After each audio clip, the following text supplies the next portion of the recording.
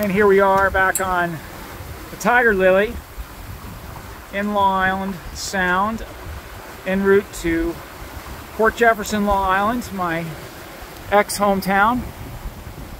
And here's First Mate Lily doing a little cleanup after we set our Code Zero.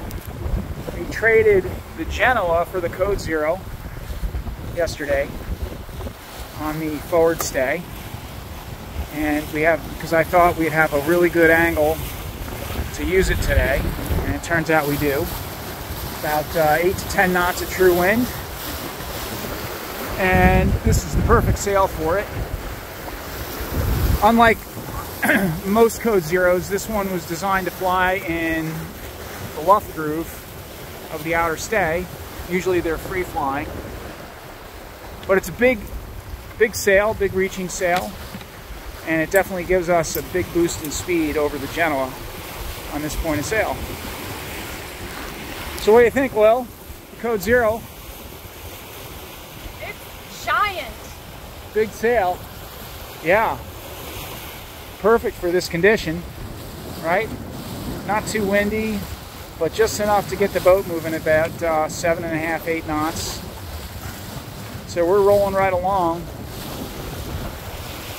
And if it doesn't get too windy at this angle, we'll be able to hold it. So anyway, that's what's going on in the Tiger Lily. It's 7th, I think. And uh, we had a nice time in Hamburg Cove. Stopped for fuel on the way out of the Connecticut River. And yeah, now we're just uh, doing what we do every year, which is head back to Port Jeff, see some friends, and look for a weather window to head south. So this time, maybe going all the way from Port Jeff to Norfolk instead of Port Jeff to Annapolis, so another 100 and some odd miles. Hopefully we get good weather to do it and I can find some crew.